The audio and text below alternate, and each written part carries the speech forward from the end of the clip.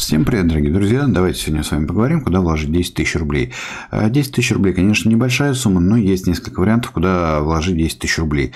Как минимум это можно сделать в паевые инвестиционные фонды, можно вложить 10 тысяч рублей, в том числе в дивидендные акции.